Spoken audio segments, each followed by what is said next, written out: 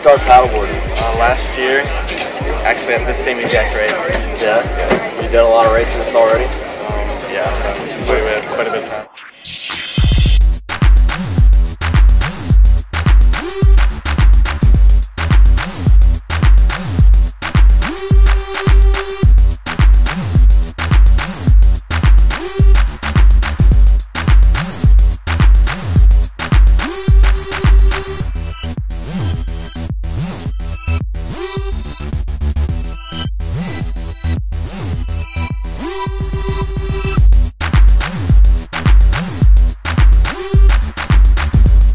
How did that go here?